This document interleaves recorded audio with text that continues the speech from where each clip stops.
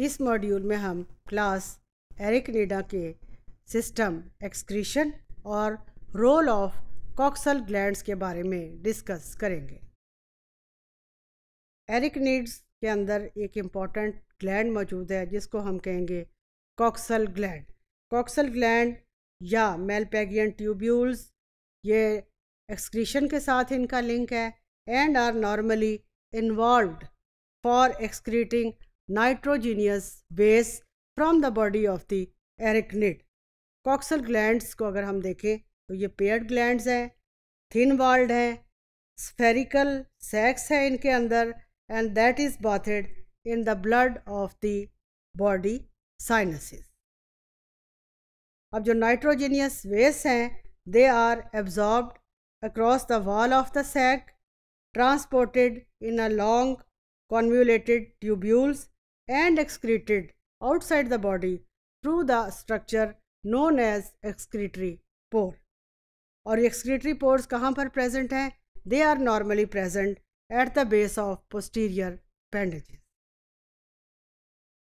एरिकनिड्स की बॉडी जो है दैट इज़ अडाप्टेड जैसे कि आपको बताया ये टेरिस्ट्रियल एनिमल्स हैं टेरिस्ट्रियल एनिमल्स हैं तो यहाँ पर ड्राई कंडीशन है वाटर की एब्जॉर्बशन का प्रॉब्लम है वाटर की रिटेंशन का प्रॉब्लम है तो उस पर्पज़ के लिए इनको अपनी बॉडी के अंदर एक स्ट्रक्चर्स जो है, वो अल्लाह ताला ने रखी हैं। उनको हम कहते हैं blind ending diverticula of the gut tract अब ये कहाँ से अराइज होता है? That normally arise at the junction of mid gut and hind gut और इन ट्यूब्यूल्स को हम कहेंगे मेलपैगियन ट्यूब्यूल्स ये मेलपैगियन ट्यूब्यूल्स जो हैं बॉडी से वेस्ट प्रोडक्ट्स को एब्जॉर्ब करेंगी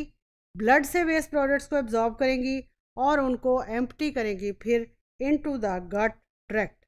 अब एक्सक्रीटरी वेस्ट जो हैं they are eliminated along with the digestive waste और जो मेजर एक्सक्रीटरी प्रोडक्ट्स हैं आरिकनीड्स में, क्योंकि ये टेरिस्ट्रियल हैं, वो है यूरिक एसिड जो भी एक्वेटिक एनिमल्स होंगे, उनके अंदर जो वेस्ट हैं, वो होते हैं अमोनिया. अमोनिया को ज़्यादा सारे वाटर के साथ भी बॉडी से बाहर फेंका जा सकता है, लेकिन यूरिक एसिड्स उन टेरिस्ट्रियल एनिमल्स में जिनकी बॉडी के अंदर already small quantity of water है, उनके अंदर uric acid as a waste product use होता है। अब यूरिक एसिड्स का क्या एडवांटेज है कि इसको टेरिस्ट्रियल एनिमल्स जो हैं, वो स्मॉलर क्वांटिटी ऑफ़ वाटर के साथ भी एक्सक्रीट कर सकते हैं। इस डायग्राम में आप देखें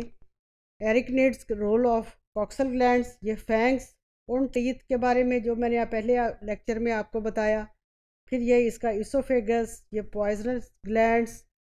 फिर इसमें ये stomach aorta intestine silk glands हैं बुक लंग है, ये लंग्स के बुक लंग्स के बारे में आपको बताया कि they are representing the same